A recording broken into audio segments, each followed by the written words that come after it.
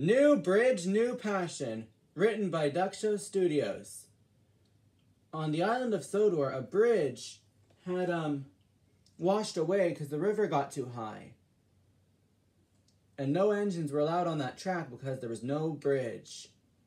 The Thin Controller came to see Ivo Hugh and Fearless Freddie. Ivo Hugh! Fearless Freddie!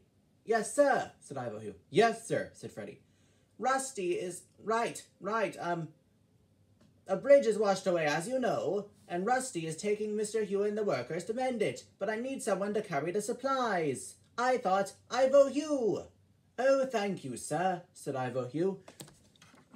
The next day, Ivo Hugh got to work. The next day, Ivo Hugh got to work.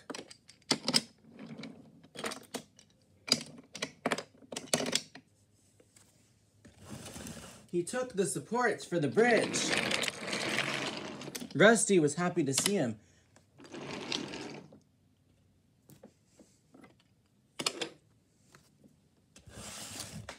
Right, thank you for the support, Ivo Hugh. You can stay and watch them put it together. The workers got to work. Putting the supports for the bridge up. Ivo Hugh was fascinated with the line maintenance and construction. Oh, wow, that's incredible, said Ivo Hugh. Oh, wow, that's incredible. The next day, Ivo Hugh was very happy to bring the stone for the bridge. He collected two trucks full of stone. And he puffed to the bridge. He was even more fascinating watching the crew put the stone on the bridge. Soon the bridge was complete. The thin controller came to cut the ribbon.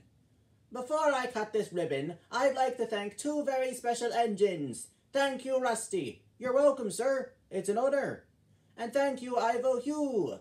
Oh, sir, you're welcome, said Ivo Hugh. But I do have one question.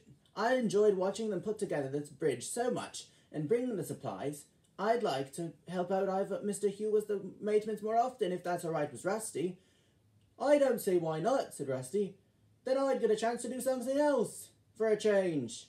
And so it was arranged. Sometimes Ivo Hugh helps Mr. Hugh with maintenance on the line, and he's a very happy engine.